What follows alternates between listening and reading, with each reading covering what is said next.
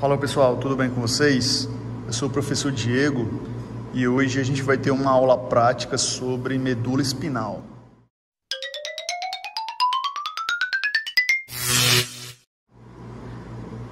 Então pessoal, a medula espinal é um prolongamento caudal do nosso encéfalo, tá?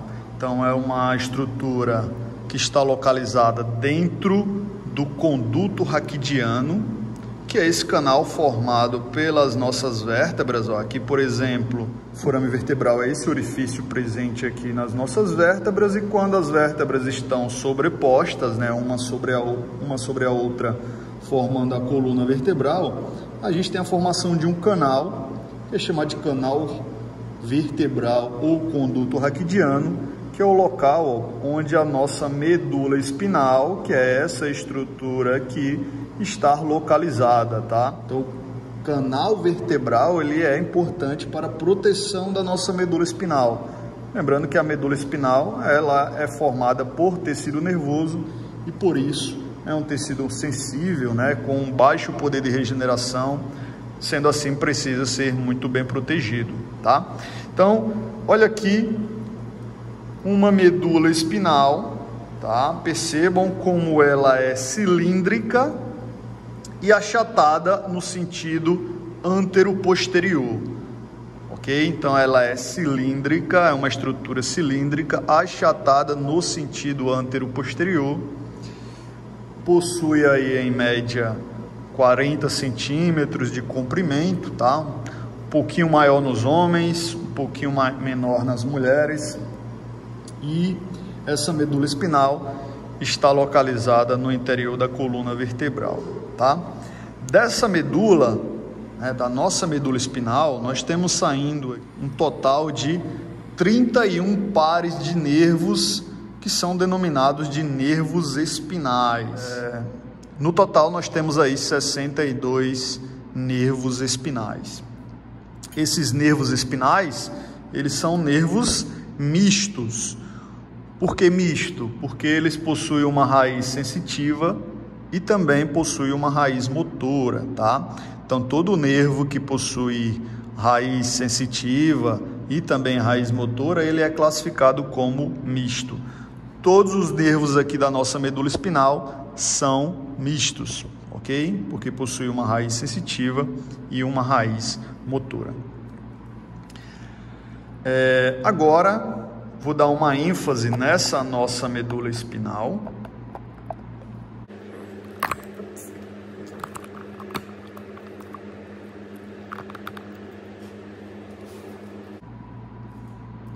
Agora eu quero enfatizar com vocês essa medula espinal, tá? Que é uma medula humana, ok?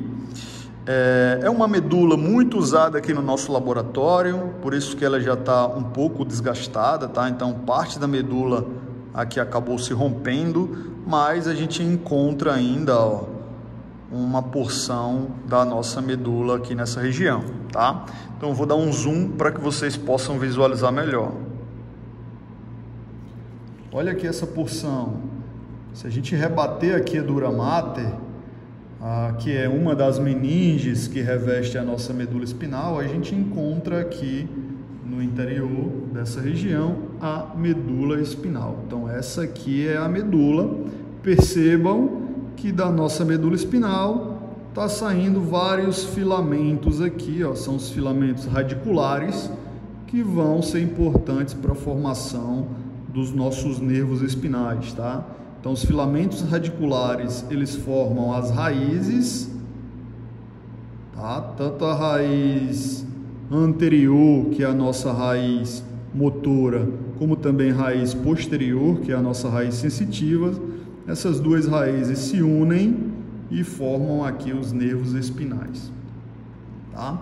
A medula espinal, pessoal, ela é uma grande via de passagem de informações, tanto informações ascendentes, né, ou as informações sensitivas que vêm da periferia do corpo através dos nervos espinais e vão trafegar essa medula espinal até o nosso encéfalo, é, como também informações motoras que descem lá do nosso encéfalo, né, mais precisamente do córtex, do cerebelo, É, essas informações motoras descem por vias motoras, atrafegam aqui pela nossa medula espinal, também vão sair pelo nosso nervo periférico, né, através da raiz motora, e vai ser levado para um órgão efetor, que é um órgão que vai efetuar uma ação, tá? Normalmente o órgão efetor será um músculo ou uma glândula. Dessa forma, a gente vai realizar um movimento, por exemplo, tá? Então, a medula espinal ela é uma grande via de passagem de informações tanto sensitivas como informações motoras. A medula ela também funciona como um centro de integração dos nossos reflexos, tá? Então a medula espinal ela também é um o centro dos arcos reflexos.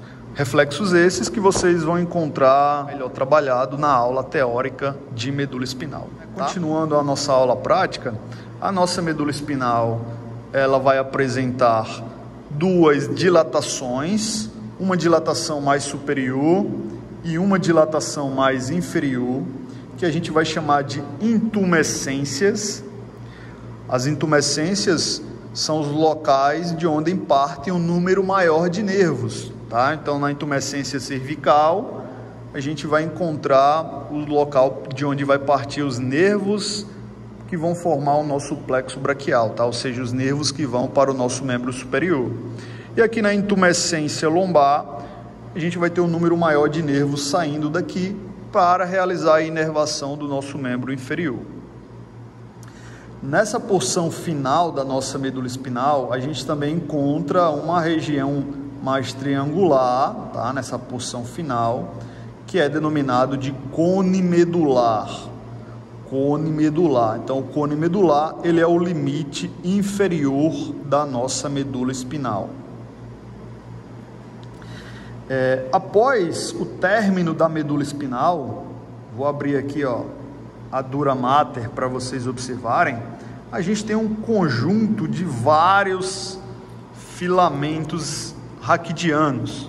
Vou dar um zoom aqui para vocês. Então, após o término da medula, ó, percebam que a gente tem vários e vários filamentos aqui. E esses filamentos vão formar uma estrutura que é denominado de cauda equina, tá? Então esse conjunto de filamentos radiculares são é denominado de cauda equina, tá bom? Então após o término da medula espinal, a gente tem abaixo aqui no canal vertebral vários filamentos formando a cauda equina. É, dentre esses filamentos que formam a cauda equina, a gente tem um filamento mais branquinho aqui, ó, mais esbranquiçado. Ah, deixa eu focar ele aqui para vocês, ó. Esse filamentozinho aqui, ele é denominado de filamento terminal. Filamento terminal, tá? Então, de todos esses, o mais branquinho, que ele é formado a partir do término aqui da, da nossa pia mater, a gente tem a formação do filamento terminal, tá bom? Esse filamento terminal ele vai ser importante para fixação da nossa medula espinal lá na região coxígena. Além disso, a nossa medula espinal ela é recoberta por meninges, tá? Então, as meninges elas revestem tanto medula como o encéfalo. Então, as meninges são esses envoltórios que revestem o sistema nervoso central. A gente possui três meninges revestindo o nosso sistema nervoso central. A mais externa é denominada de dura mater, dura mater, tá? As mais internas são a aracnoide mater e a pia mater. A dura mater, ela é essa meninge mais espessa, tá? Ela é uma paquimeninge. Esse termo pac significa espesso. Então a dura mater é a meninge mais espessa que a gente possui aí revestindo o sistema nervoso. As outras duas meninges, a aracnoide mater e a pia mater, são leptomeninges, tá? São classificadas como leptomeninges. São meninges mais finas e que no período embrionário elas possuem aí basicamente a mesma origem, né?